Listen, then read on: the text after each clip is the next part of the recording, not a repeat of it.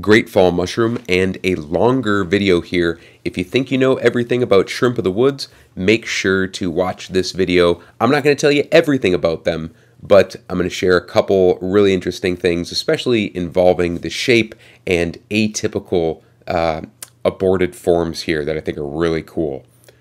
Here's what we're going to go over. How to harvest clean. How to not come home with a basket full of dirt. The non-aborted forms, are they edible? Do they taste good? Atypical aborted forms, cleaning, and cooking. A little bit of background. This is Entoloma abortivum. Basically, there's been a lot of debate over this over the years. Tom Volk has some great information on it online. Entolomas and honey mushrooms react. Originally, we thought the entolomas were aborting themselves, uh, but now we think it's maybe the honeys, and the reaction causes the mushrooms to form things called carpophoroids. Those are the aborted forms. The exact relationship is still a little bit unclear. Hopefully, we'll know more in the future. Either way, they're a fine mushroom to eat, but they take some skill to make them taste good in the kitchen, and I will go over that at the end. So, just like other mushrooms that we harvest, and this is especially important with the entolomas because they have like this divot in the top where it's like a it's a nook and cranny where dirt can just get right in there and it will be a complete pain to clean. You want to make sure that they're clean before they go into the basket. And like I mentioned before, these are going to be found near honey mushrooms. Almost always I'm going to see honeys near them, and my best fruitings come from elm trees. But they'll be in coniferous woods too. The key is looking for places that honey mushrooms would grow. And most of the time, you're going to see these in clusters on the ground, and the, you want mushrooms that are very firm. And with this thing, I'm going to harvest a couple different mushrooms here just so you can see. We're going to cut all of that dirt off, and this is a cluster. You can see that there's dirt literally inside of the middle of that cluster. So I'm just going to keep trimming this until I don't see any dirt. And this one we may have to pick apart to be able to get all of that dirt out there. And I was just going to slow this down a little bit. So you see that pink in the center.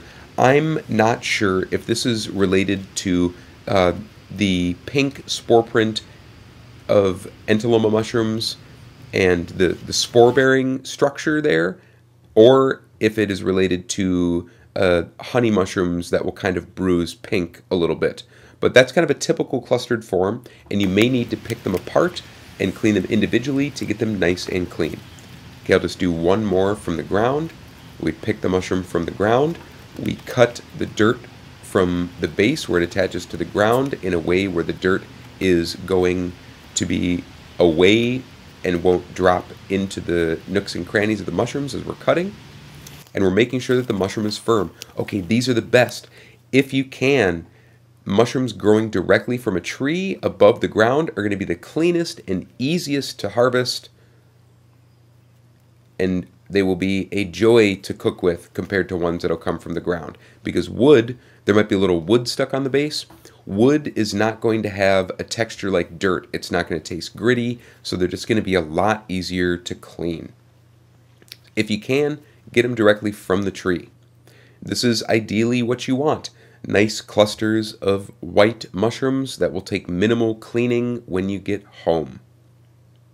Okay, eating the non-aborted forms. I do like these.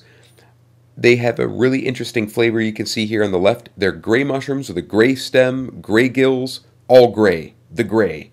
And they have a pink spore print that you'll see pretty soon. This is what they look like.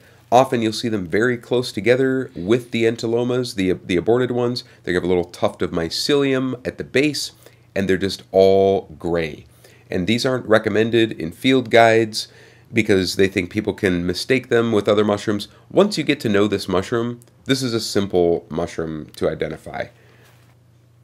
There you can see the pink spore print, and that will be visible on mature specimens in the field and is a good way to uh, just to double check your ID there if you want to eat the non-aborted forms. But other entolomas also have pink spore prints. General cleaning. So like most mushrooms, really the most that you're going to need is a little bit of water and a paper towel if you picked them clean like I described. Okay, that one right there, that's a little lightweight. Remember, we want them firm and heavy, so I'm going to throw that one out. And each mushroom is kind of unique. Uh, I like a knife with a, a nice fine pointed tip to kind of get in those nooks and crannies if I need to. Some of the mushrooms might need to be cut in half. Some of them might need to be like chiseled out. Some of the mushrooms will be so clean that they won't even need washing at all. Each one is kind of different. And, you know, if you hunt mushrooms, you know that cleaning is a process.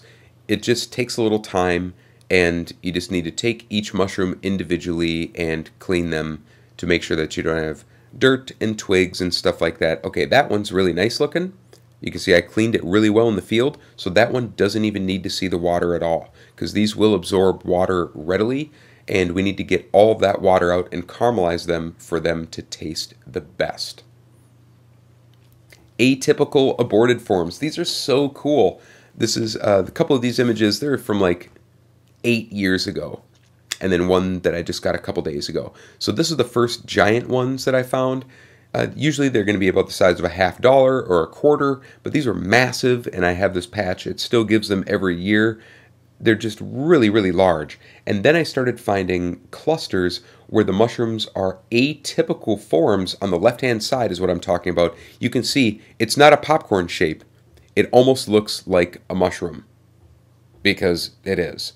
So just an interesting variation and no divot in the top.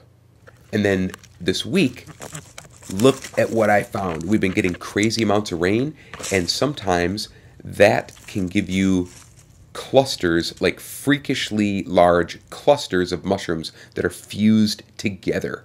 So this is the largest one I've ever found, and one of them, uh, one part of them was individual mushrooms that I could kind of peel apart, and that the other half was this complete 100% solid mushroom.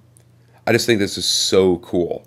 And again, I suspect that it is heavy rainfall that is making this happen. Uh, but if you find one of these, it can be confusing because you may not know what it is. Like, oh, this it kind of looks like an entoloma. Is it? It absolutely is. You just have to know that sometimes you can find atypical fused clusters that don't have that indent or the typical popcorn ball entoloma, aborted entoloma shape. And what you can do, you can cut it into a big thick slice and you can cook it just like a piece of meat, just like you would a chicken of the woods or the base of a hen of the woods or another meaty polypore. But those are great. Uh, they have a nice sweet taste, these mushrooms do, different than the smoky taste of the non-aborted forms. Okay, general cooking. The most important thing is to caramelize these mushrooms and put color on them. These are a very mild tasting mushroom. Also, the shrimp analogy, shrimp of the woods, they're not going to taste like shrimp. The shrimp of the woods analogy is a basic reference to the texture, which is vaguely similar. Here, I'm cooking them with a strong uh, guajillo chili sauce and having them as tacos big flavors are good here. Or cooking them down like I have here with honey mushrooms, really cooking them down for like 25 minutes in a saute pan, slow, to get all of the moisture out and to really caramelize them and concentrate those glutamates and make all the good mushroom flavors come out. Toss them with some hot, hot chilies and garlic and herbs when they come out. All these recipes are on my website. Probably the reader favorite is the easiest one, and that's just oven baked shrimp of the woods. I know some people will bake these and then freeze the baked mushrooms and then just reheat them in an air fryer. This is good when you just want a mushroom snack. But the best thing to make, the thing that everyone will love, even if they don't like these mushrooms, the thing that hides their mild flavor and enhances them, is my fra diavolo. So you take a bunch of entolomas and you cook them down and get them all caramelized and golden brown, and then you heat them up in a simple spicy tomato sauce and toss them with pasta or have them as a ragu with polenta. Super good. Make sure to try that one. All these recipes are on my website. I hope you enjoyed learning a little bit about aborted entolomas or shrimp of the woods. It's been a great mushroom season out this year, and I hope it's been good to you. Thanks for watching.